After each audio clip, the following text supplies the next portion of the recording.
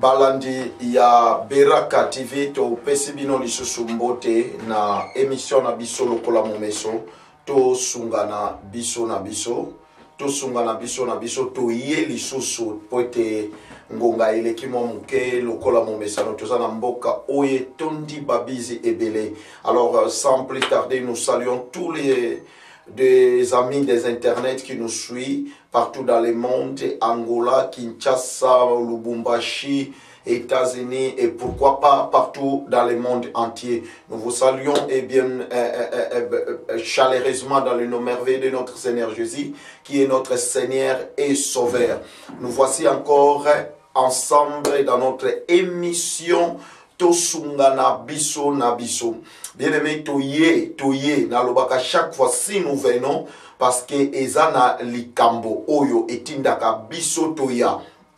alors comme présentateur ya émission na bino eza révérend daniel nimi toyebi ete na émission na biso ezalaka sans tabou longola vraiment oyo ebombami tofongola mokaba pwelele pwelele mpo ete na kolobaka bosolo yango ezokomema lisungi na kati na kominauté na biso ya bana ya kongo mpe ya afrika mobimba yango wana na ye na na teme na ngai ya pokwa lelo uh, libala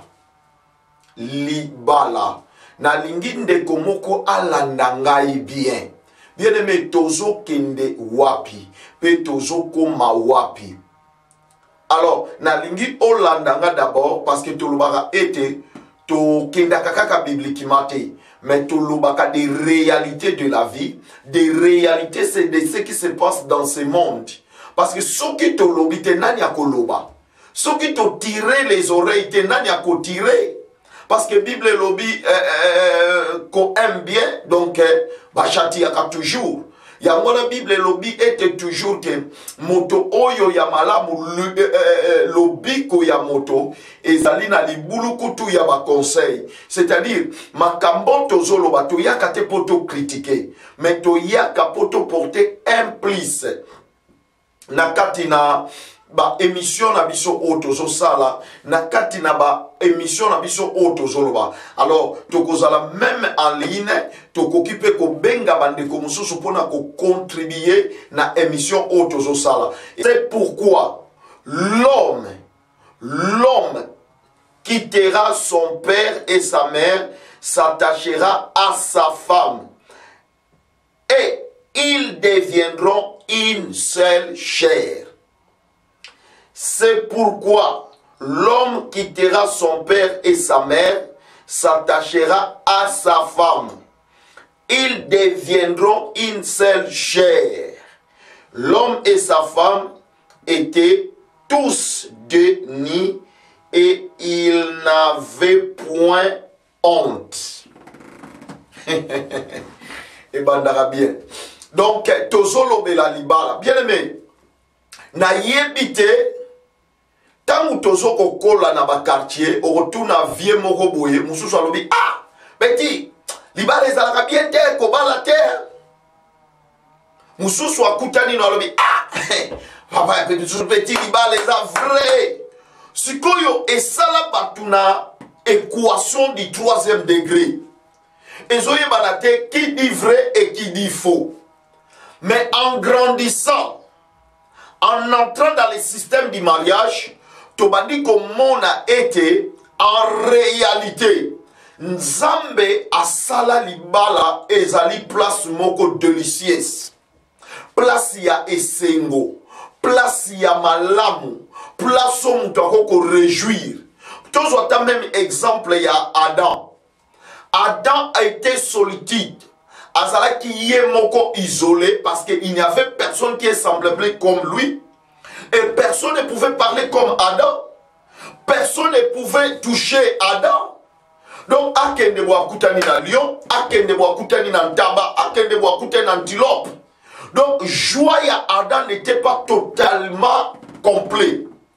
Alors, Dieu, dans son passé, il a vu que non, l'homme est tellement seul.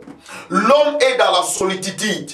ezosengela ye un aide semblable ezosengela ye moto oyo akokokana na ye ezosenga moto oyo mpe akozala lokola ye yango nalingi naloba il y avait trois grandes raisons que l'éternel avait fait que moto libala ezala d'abord première raison ezali ke mpo moto avivre na communion na communion deuxième raison c'est-à-dire l'homme avivre na communion na semblable na ye nazokende mwa mbangu mpo tokotala lisolo ya lelo moto moto avivre na semblable na ye c'est-à-dire communion bato mibale bavivre ensemble c'est-à-dire mpo ezala na boringi te mpo ezala na mawamawa te kolelalela te c'est ainsi que l'éternel a fait que qu'il y ait un aide semblable c'est-à-dire asali moto alobi mm, vivons ensemble communion euti deja na biloko mibale le mot communion être ensemble donc c'est-à-dire ntango namoni moninga nanga nga nakopesa bino baexemple ebele ntango toye na bamboko oza nao na mwasi te peut-être ozotala tv bokomona eloko akoseka mais tellement oza yo moko omona osukisi loboko mpo moto akobeta aza te eza mpe na bato ebele bozolanda nga ovivraka na france na paris na europe etats-unis wapi ozovivre na solititude ozoyeba te osala nini bato ebele bazikisa biloko bato ebele bazikisa bandako bato ebele bazikisa bavi na bango tout simplement kozala isole me nzambe asala libala te na biti mosusu te ke moto arejoindre deuxième grande raison nzambe akelaki ete adam na eva bazala le mot communion ebimisa communication Mon communion ebimisa communication, c'est-à-dire Nzambe a créé biso tozala na communion et puis communication. C'est communiquer entre l'un et l'autre. Yango wana omoni bien aimé, toza na grand défaut aujourd'hui. Parce que nous ne savons pas que si je suis dans les mariages, ore nazala isole likambo na nga eskufelaka nga na motema likambo na nga epolelaka nga na motema esengeli nazala na moto na kopartajaka na ye alors moto wana fo azala la femme selon le plan de dieu et selon le cœur de dieu parce que soki oke libala selon yo parce que nazo souffrir parce que fo kaka nabala bien aimé tu rencontreras beaucoup de problèmes na bandeli oyo na baprincipe ocomprendre eloko nalingi naloba na pokwa lelo Troisième raison, Dieu a créé le mariage pour que la femme soit aide semblable de l'homme. nalingi okomprendre biloko misato communion c'est-à-dire bato mibale ntango bazosangana bazosala alliance bazosala communion c'est-à-dire bazokoma esika moko bien aimé bible kutu elobi vaut mieux deux que un ntango boza bato mibale ozoka meme koseka ambiance mais sikoyo yo na libala na yo au lieu de vivre un bokoma kovivre deux c'est-à-dire bozosentir ambiance te bozosentir beauté du mariage te parce que il n'y a pas la communion il n'y a pas la communion papa ye akoti na yoni na kompyuta na ndenge na ye yo mpo okoti oza na yo na facebook na ndenge na yo moye bosentir communion eza te sikoyo na komema na raison ocomprendre pourquoi communion ezosalama te aurait bovivre communication motu na motu azosala encaissement des problèmes dans son cœur yango ekoma osala yo ke oza na likambo ozoko kobetela mobali na yo te ozo prefere obetela un ami ozo prefere obetela mama na yo ozo prefere obetela papa na yo mais bien aimé au courant de ce mariage on va poser des questions avec les hommes de dieu en ligne toyeba mariage ya malamu eza nini nalingi okanga nanu moke bible parce que oyo eza makambo ya spiritualité te sikoyo bien aimé koma na mboka ya poto na afrike na mokili mobimba bascandale eza na bamariage pourkui tous ces scandale pourkui tozobala eske libala ezali fantaisie eske libala ezali prestige eske libala ezali décoration ou bien libala eza likambo ya motema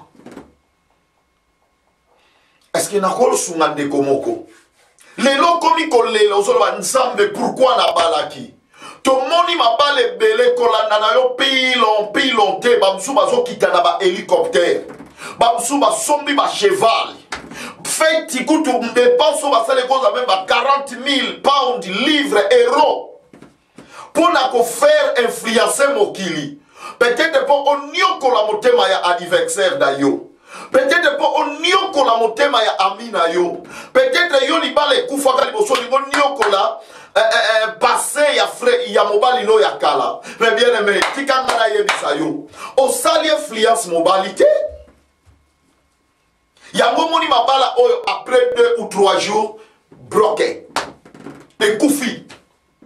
na comprendre te mwasi oyo nabalaki te aza mpenza ya kalite na nga te fale mpo nabala mwasi oyo bien aime nani aza kocomprendre te mais ntango nazotanga bible ezoloba l'homme quand on parle de l'homme c'est quelqu'un qui a la maturité c'est quelqu'un qui comprend le sens du mariage alors bato ebele bazobala baza matire te bazobala baza na position ya mariage te alinga bala mpo asepelisa bato alinga bala mpo asepelisa mokili alinga bala mpo asepelisa eh, ali, promese oyo asala mais au fond du cœur bolingo eza te bien aimé cantique de cantique elobi boye je cherche celui que mon cœur aime bien aime eza na eloko moko na bolingo e biloko mibale ekangaka libala l'amour et l'affection s'il n'y a pas l'amour affection automatiquement esilaka alors sikoyo toa na problème sérieux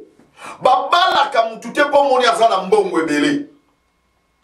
yango tomona motu mosusu aza na ye pauvre mais azo ko koyeba te na ndenge nini akoki kobala ndenge nini akoki kosala parce que normalement libala eza likambo ya nzambe okota na pensée divine ya nkolo okota na pensée divine ya nzambe nalingi tozwa mwa clip moke topema olanda nanu clip oyo ya mama na biso abigaele ekosala yo plaisir kitoko bongo tokontinue émission na biso nzambe apambola yo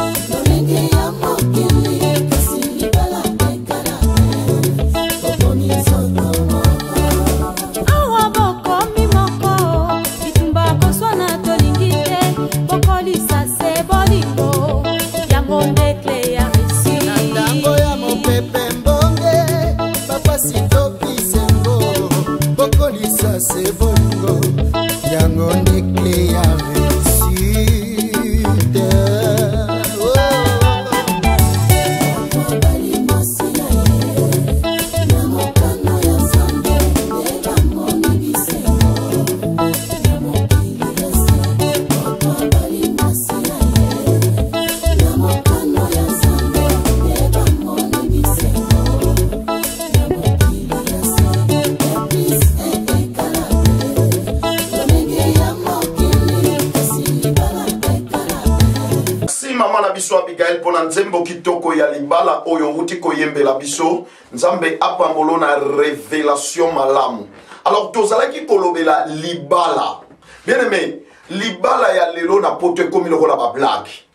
libala ya lelo na poto ekomi lokola baje nayebi te parceke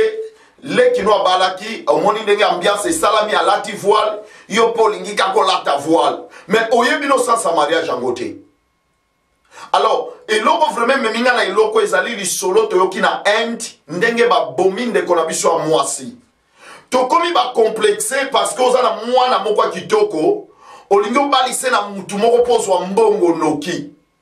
o peut-être oyebi culture pe ya bato wana te oyebi lolenge ya bato wana te tala lelo na kozanga kocomprendre révélation ya mariage tokomi meme kozanga bandeko ya basi ya malamu ya kitoko na communauté alors nalingi na aide ndeko moko papa libala ezali defox oyo awuti na kutimi na ye oyo awuti na lolenge na ye bozokutana mpo bosala mariage elanda eloko nalingi naloba eza na peut-être mwasi ntango azokola na ndako ne bazalaki kobondela ye yaya e bebe yaya e antoinette yaya e yaya na ngai boye azozwa part ya responsabilité na oyo ye azali kosala s'il vous plaît toza vraiment en ligne eza na bandeko mpenza bazali déjà kobenga mais tomeka kosala bango sini que nous sommes en pleine émission donc eh, comme momesano allo mama na nga boni toza en pleine émission nzambe apambola yo lokola obengi biso toza kolobela sur eh, libala ah, namoni mpenza obengi biso na ngonga ya malamu boni yo mama oza na kimia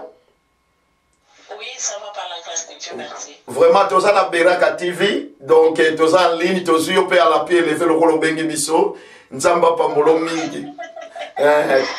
toza na émission tozosala en ligne tozolobela sur le mariage tozomona bamariage ezobeta ezobeba mama na ngai nayebi ete yo mpoza moko ya femme marie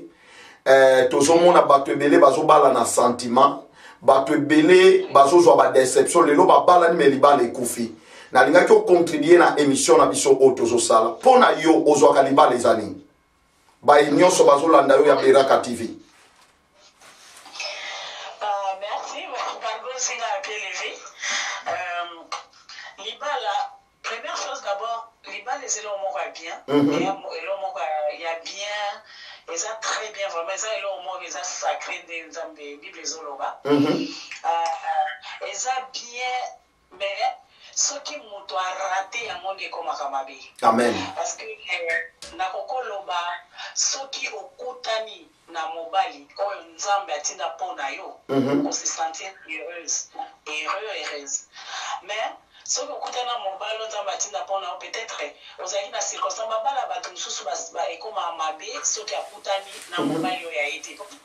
balingaka ba mususu balingaka a, a souffrir mingi toute ça la vie ele mususu azalaki nanu abali te yango likambo mobali moko aye sa tuna volonté ya nzambe abali par rapport à circonstance uh mhm. -huh. yango ko kobebisa omoni ke libala eza bien okozala na gout ya libala te mais soki mobali wana vraiment ozwaki mhm. coup de cœur na mwasi azwaki vraiment coup de cœur Donc esalaka ke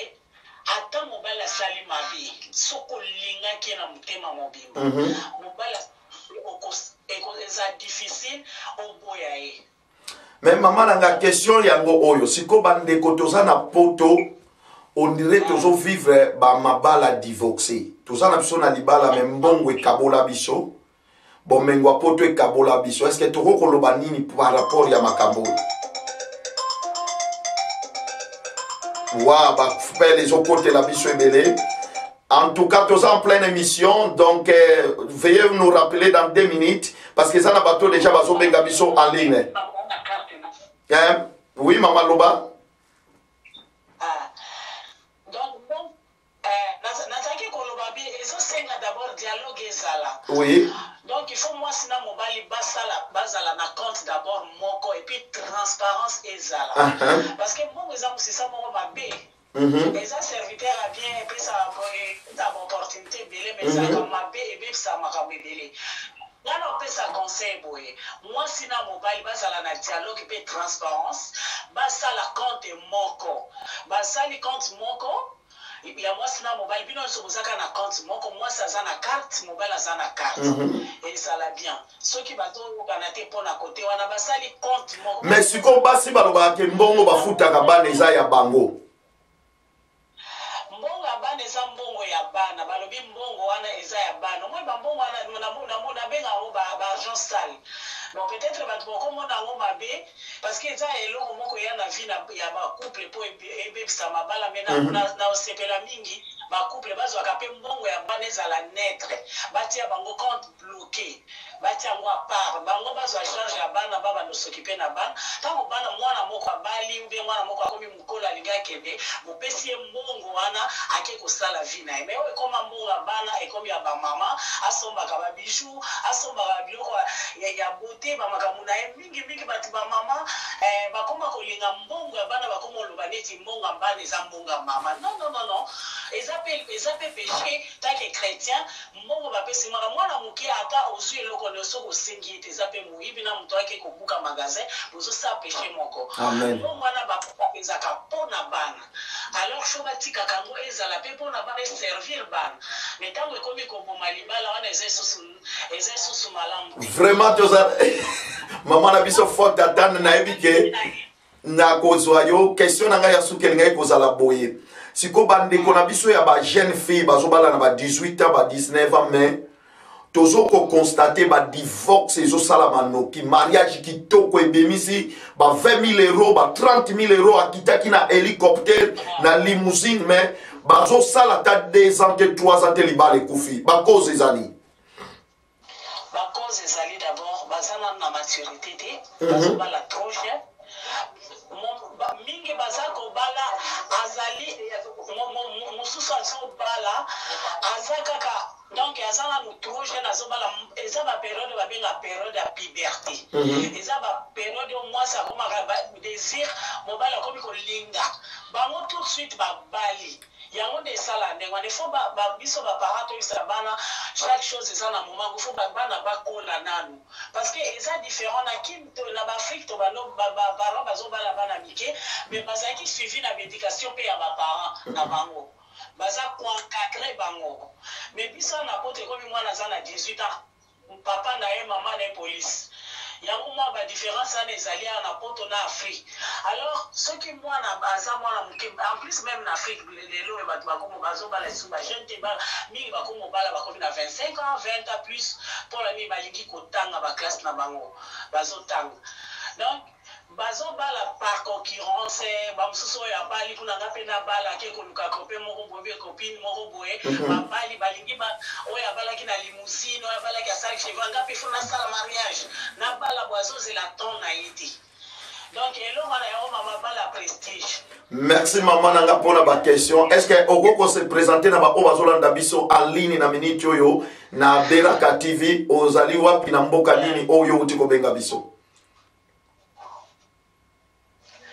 Bon, nazali sœur Immaculée Omange, Madame Bokeli. Euh, naza chantre de l'éternel mm -hmm. nayaki na belgique nazalaki na mosala ya nzambe nayaki nafanda na paris précisement nayaki na belgique mpo nazalaki na mosala ya kosala awa na belgique ezalaki concert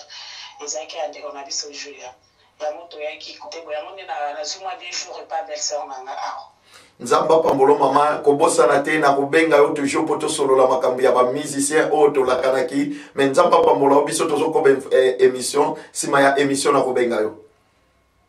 merci, merci. merci mama na nga alors baye balandi touti olandela sere na biso immaculé oyo wapi mosali na nzambe kaka makambo tozoloba ya maturité bien aime tozowelela kobala très jeune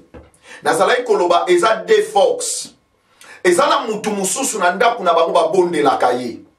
me yo papa na ndako na bino babandaki kobondola te kende kolala zonga na ndako jaka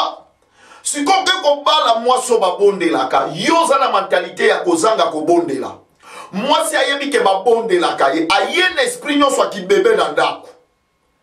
akozala wana avandi atusiliki mwa moke na bona nga tazo bona vanda na ah, yoka ntina obondela eh, boni ko peco ta peco osangana na nga eh, eh, peco benda oyeba nga te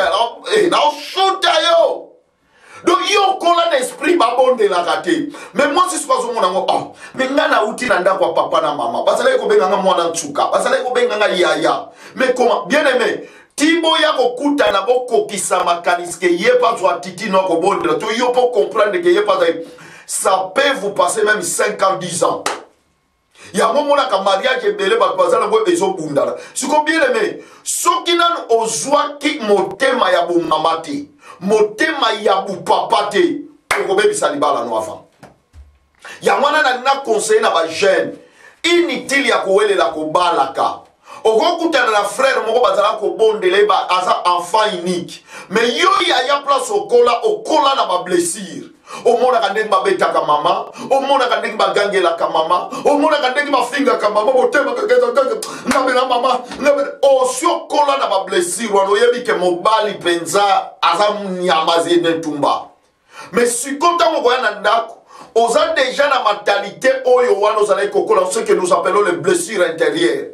ntango okoya mobali azwa na rythme ya tendresse yo deja esa atika nga biloko wana akosimba nga te nga na misala nga basimbaka simbaka nga te papa alex alobaka atika ah, yo mpe moni boyeko donc ezomema yo deja na kokufa ndenge mama na biso imakila auti koloba ke libala fo maturité bien aime tozobala te mpo na mbongo tozobala te mpo na age eleki me kota na libala ocomprendre responsabilité na yo mama eza wapi papa responsabilité na yo eza wapi pourkui mabala ekomi kokufa obalaka mwana mwasi moko soki ozogangela ye sikoyo oyela esprit ya militaire trou ekoti wapi lelo omonake mwasi oyo azalaka kolela so ozogangela me lelo akoma kolela lisusu te trou ekoti wapi omona papa oyo ozalaka soki olobi bo transparence apesi mbongo olobi bo azanga te me lelo ekomi azokanga maboko parce ke bafuite ezali nalingi nasunga libala moko bien aime comprendre biti oyelaki na mariage oyaki mpo na communion communication ekosunga oyaki kolongola moto moko na soltitude oyaki kolongola moto moko na isolement mais lelo tozomona scandale mama vivaka na ndenge na la plupart des mariages que nous vaincons aujourd'hui eza bamariage divorcé mama okosimbele wapi lelo nazolobela nao libala tokokota pwe papwe eza vaste lelo naolobela nano libala toyeba ntina ya mariage pourquoi nos mariages ne sont pas honorés pourquoi première chose tozobala euh, selon pas la volonté de dieu mais selon nos sentiments ah petwana ah nalela ye petwana kolaka bien nsima evanda ah petwana ta batolo ah nga peta babuna nga wana mais est ce que eza gu na yo est ce que eza gu ya nzambe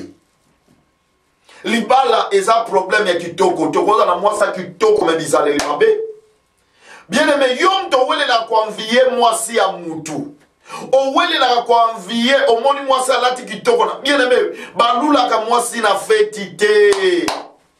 okoya komela mai oyo moninga atiki yo ozokanisa eza bien orke eza ya mabe oyebi makambo moninga azomona malgre kimwasi ya kitoko na ndako oyebi makambo asa mwasi ya kitoko matandaka mbetu te mwasi ya kitoko mayeba olamba te mwasi ya kitoko cuisine sali te mwasi ya kitoko chambre alalaka lokola poubele mwasi ya kitoko ozowelela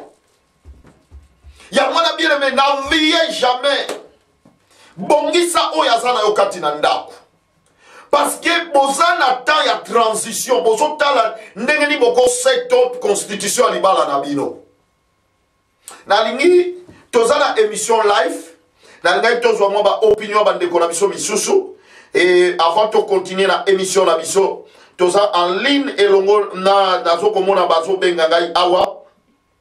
elongo na pasteur samuel mususu aza na ngai en ligne nalingaki mpe tozwa ye toyeba opinion na ye na makambo oyo toza na yango ya mariage comme tozolobela mariage tozolinga toyeba mariage eza nini mariage pourquoi bamariage ezosimba te pourquoi il y a trop de divorce dans les mariages Pourquoi ba mariage ezo marche te comme selon la volonté de Dieu? Pourquoi les gens pleurent dans les mariages? pourkua moto abali mazolela bia soki nayebaki mpo na nini nabali mpo na nini nakota na libala alo mpo na nini nakotaki na libala oyo ozomona entre me retour ozoyeba lisusu te entre me ozoyeba te retour eza wapi entre me ozoyeba te ndenge nini okobima su na vie na yo entre me ozoyeba te ndenge nini okoki kosala bieneme bato bazolela bakretien bazolela bieneme okende okuta mokristo azolela parceke libala azondima te ke akovivre makambo oyo azokokoka te parceke azondima te ke libala nde kozale na boye yango nani nayebisa ndeko moko alo Bien aimé, euh, prophète Baïs, toza en direct en ligne ya Beraka TV, na émission na biso, tosunga na biso na biso. Toza na grand sujet au tozo débattre lelo sur les mariages, les maladies dans les mariages. nalingaki vraiment ocontribue na bandeko bazolanda biso na ligne tolingaki en tant que moto na nzambe toyeba mariage pourquoi aujourd'hui tozo vivre badéception dans nos mariages en tant que mutu na nzambe tolingaki tomeka koyeba question na biso ya liboso ezali pourquoi lelo tozomona badivorce ba eleki ata na bapaster ata na bachrétien ata na bafamille païenne badivorce na badivorce na mboka ya mikili ya poto quelles sont les causes paster oui merci merci paster daniel merci mpona euh, euh, faveur de privilège accordé ngai koleka live na chaîne na yo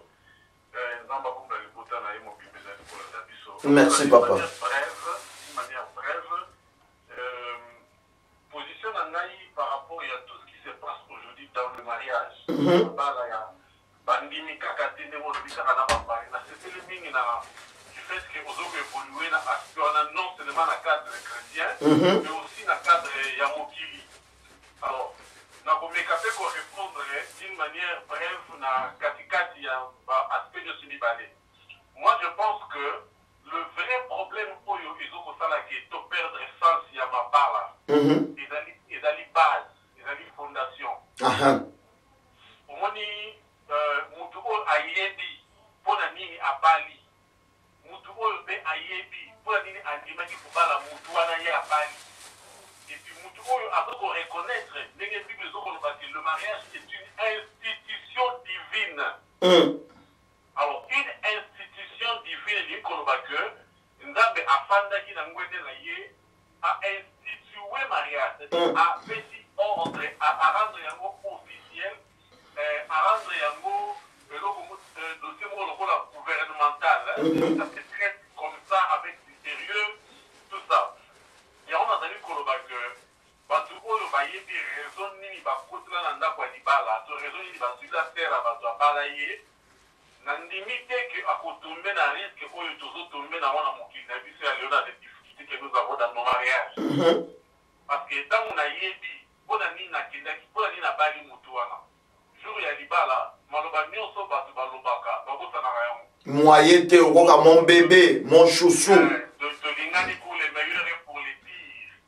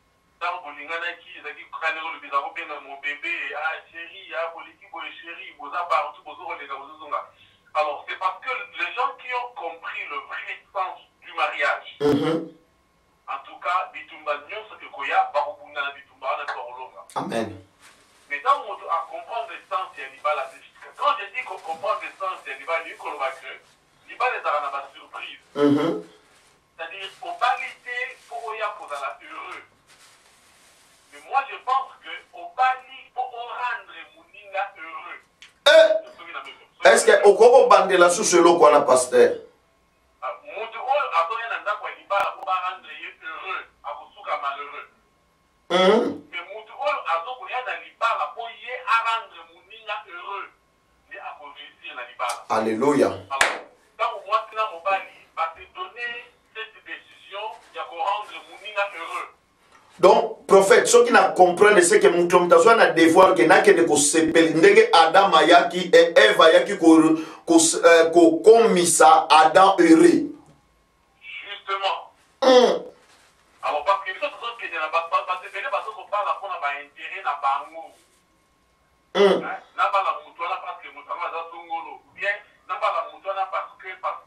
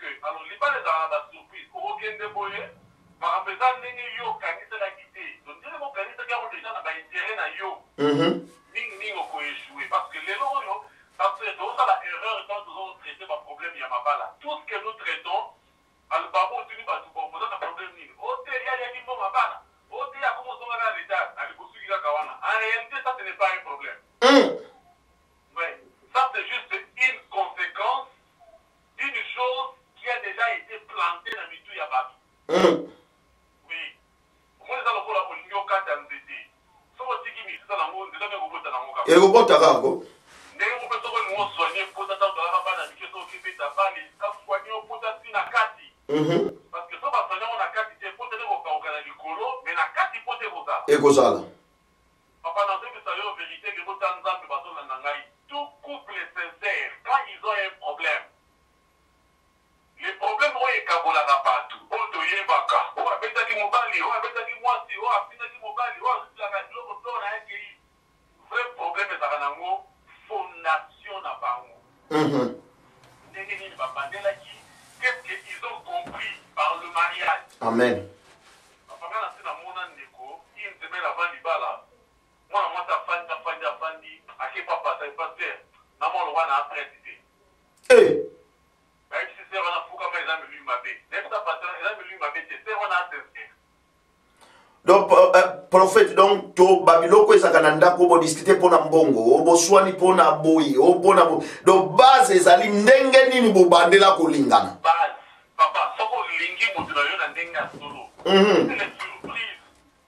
Si tu as vrai tu as compris le vrai sens de la du mariage de l'amour tout ce qui aura comme problème comme difficulte oko affronter yango parce que oyebi que oyaki na nzanga libala pona likambu wana te oyaki pour former ta famille pour rendre l'autre heureux et puis tango bazo rendre yo heureux gloire à Jesus yo pe o rendre muninga heureux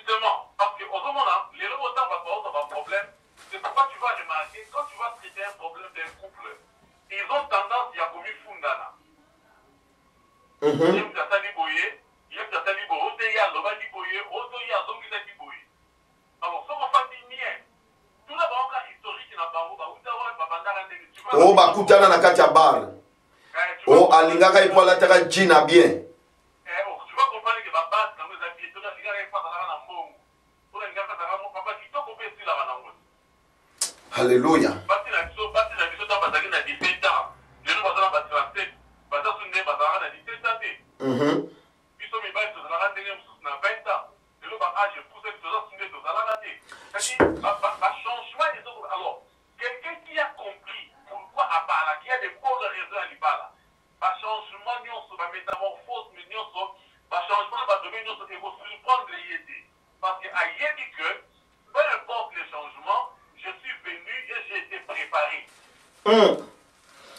Ça, c'est le prophète Baïs qui parlait, donc euh, l'homme qui a la parole dans sa bouche. Prophète Nangaki na tuna mutuna. Euh, pour na éclaircir peuple ya Nzambe. Tolingaki toyeba lelo tozomona ba jeune fille ya ba 18 ans, ba 19 ans bazobala et puis ba mariage moko ya canon. okoka mpenza aye na hélicoptère aye na danki aye na bateau aye na nini bamemi ye na gratte ciel mpo na kokende kaka kofete eh, nuit de noce mais après 2 3 mois 4 mois divorce mwana moko divorce prophète conseil nini okoki kopesa na bato wana eloko nini ezosala maladi wana esalama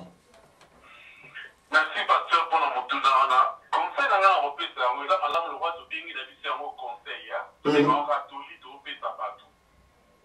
euh tozalaka na molimo ya ko se supporter hein dans le mariage il faut se supporter lelo oyo ba mariage oyo ya ya ba parure exterieur ba mariage oyo ya ba impression Non c'est bon ça depend ya ba moyen na bino n'est-ce pas ça depend ya ba moyen na bino batu mususu oyo biso bo biso tobala ba 15 ans passe en tout cas batu bazo bala lelo mabala na bango ezaka meme different na oyo ya biso amen eh, so totala ata ba photo ya ba mituka biso tambola na ngo ba limousine ezalaka na ngo te en tout cas lelo batu fuma limousine hein fuma mituka ya ndenge na ndenge eza peut-être temps na bango c'est normal ça je suis pas contre mais Na zongeli la likambo na waki ko loba. Soki ba base eza solide hein papa. Uhmm. Bo sali fete ya munene batu ba sepeli bo depense ba millions bo zongi bo sali un mois deux mois bo boti ata mwana moko mibale après deux ans bo kabwani. Uhmm. Papa elingi ko loba ke base ezalaki solide te. Omoni soki ndaku ekweyi hein. Uhmm. Ndaku oyo ekweyaka na mupepe ba kondanaka nanu mupepe wana te. Bongo pena kotuna ba maçon ba tonga ndaku wana dimension ya fondation ezalaki ndenge nini? Lelo ata soki immeuble emati emati ba materiel oyo ba matiselaka immeuble na ba oyo ba kotiselaka yango na se ba materiel oyo ba utilisaka pona fondation ekota papa ezalaka plus solide koleka oyo ezalaka likolo ça c'est la sagesse alors soki batu les apparences que vous avez montre Vous avez ete capable d'organiser un mariage de plus luxe possible felicitations mais fallait bozala pe à mesure ya ko poser des fondements de plus les plus solides pour que tango mupepe ekoya ekoya ekoki kobuka ba fenetres ça c'est normal ekoki kobuka ba portes ça c'est normal mais kobuka fondation ndaku te come on Parce que soki ba fenetres elongwe toko benga ba charpentiers baye ba remplacer elingi koloba na libala mwa ba problèmes ekozala bokofuka ofondeli solution ezuami mais papa soki fondation nde epikwami elingi koloba que faut botonga ndaku mosusu.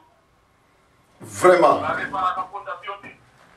en tout cas bareparaka fondation te wana ezalaki maloba ya prophète bayis prophète un mot okoki kopesa nkombo na yo Euh, soit numéro ya telefone ya baoyo bazolanda yo peut-être bakozala na conseil euh, kozwa mwa conseil epai na yo baye bazolanda wana beraka tv na ntango en ligne baza na biso elongo balingi bayoka wana owuti wapi epuis ozobenga apartir ya wapi naza na yo na lise awa na angleterre na lise euh, Nazali moko ya basali na Nzambe mpe bana Nzambe na Corps du Christ et puis nazali mokambi ya communaute Unite Evangelique de Pentecote dans le monde.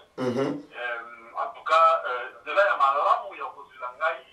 mpo ezala direct mpe facile eza kaka à partir ya Beraka TV parce que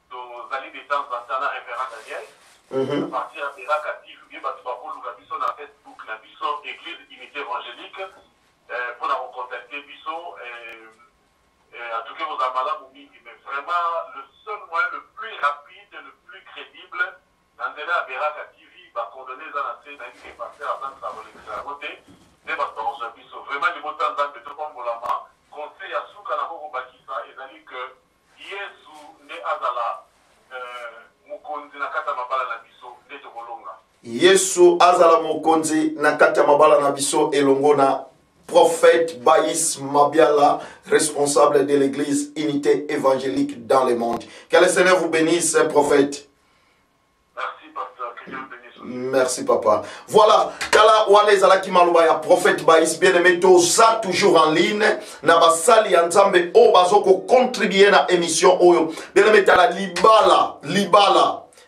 libala basalaka nango jete okomi lulendo na ndako olingi koyokela papa te papa alingi koyokela mama te bien aimé tozokende wapi nani abandi kokotisa maladi oyo ezoswapa mama eza nini oyo ezoswa papa na libala no eza nini luka mpo bongisa te luka o arrange parce que libala ezali quelque chose que l'éternel a établi ce n'est pas le devoir des normes mais c'est quelque chose institution divine ya nzambe bien aimé le diable détruit beaucoup le mariage bien aimé nalingaki vraiment ocomprendre raison na yo na libala tala soki ocomprendre ndenge prophète bayisa ye oye mpo yo ozala ere te me mpo yo okomisa motu mosusu ere donc nga fo nakomisa mwasi na nga ere mwasi na nga aluka komisa nga ere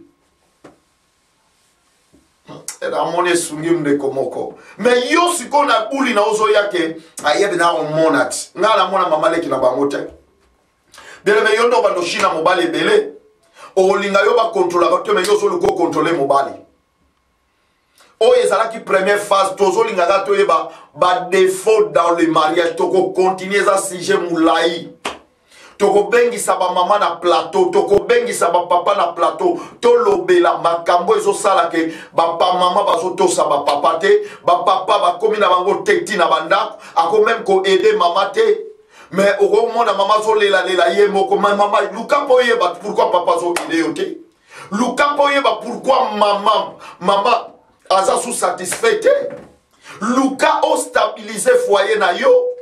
nini ekomi kosala ke temperance na libala ezala te bitumba ekoya bava ekoya batempete ekoya eza basurprise ya mariage mais quels sont des, des mécanismes que vous utilisez pour rétablir votre foyer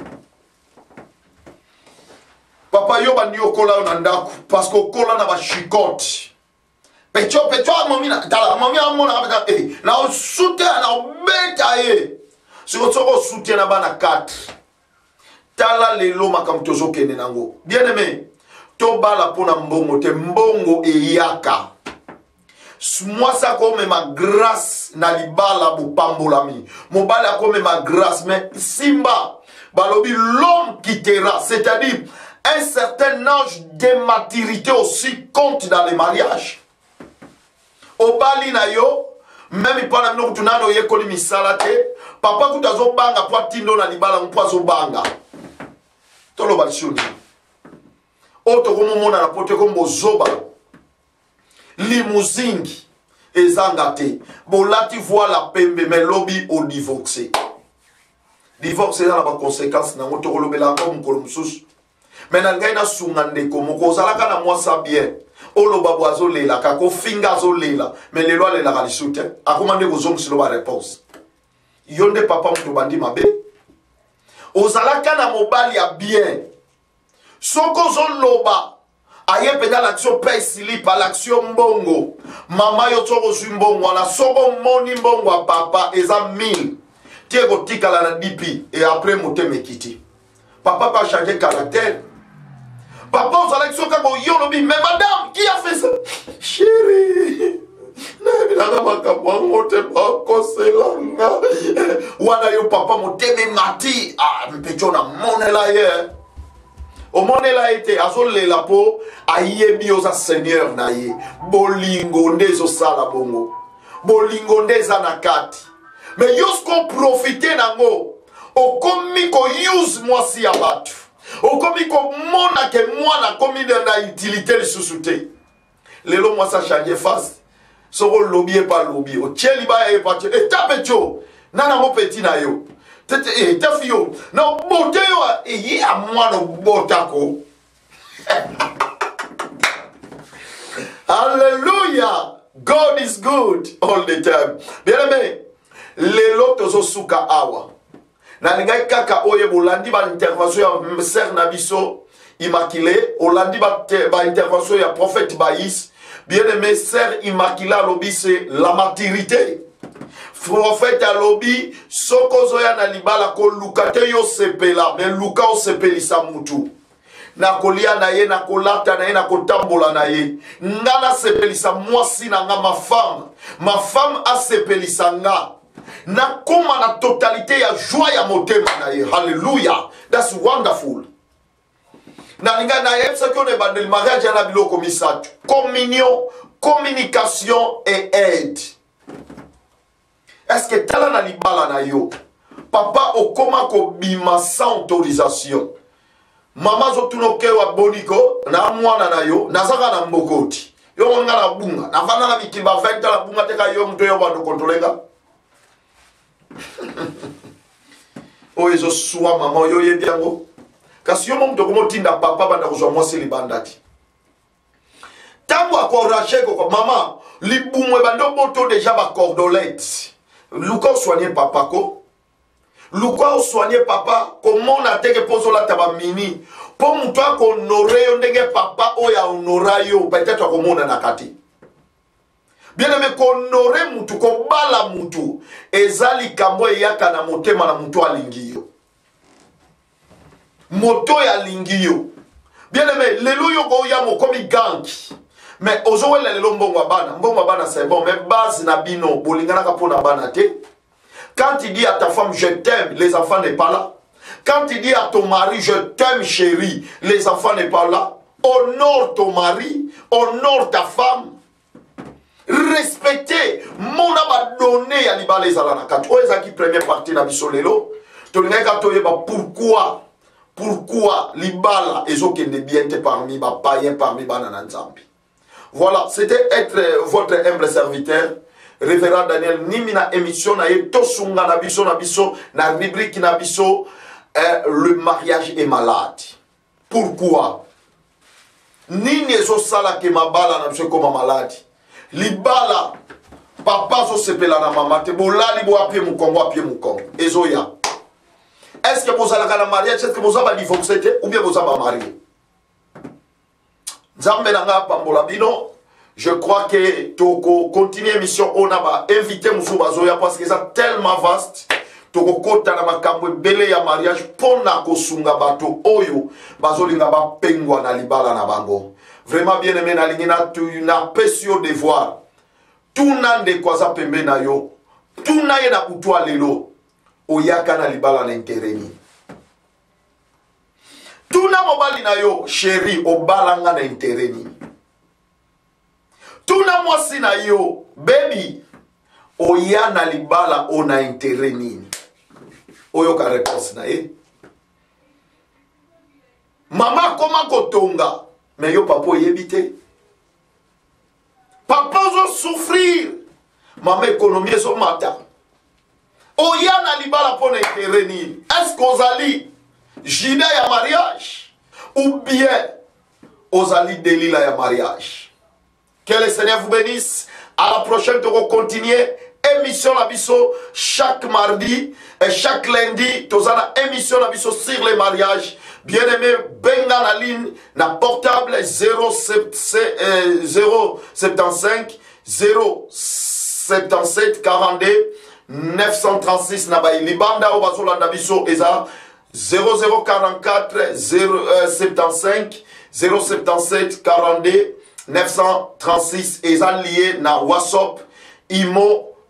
euh, nyonso vaiba okozwa biso awa ntango tozalaka en ligne à partir ya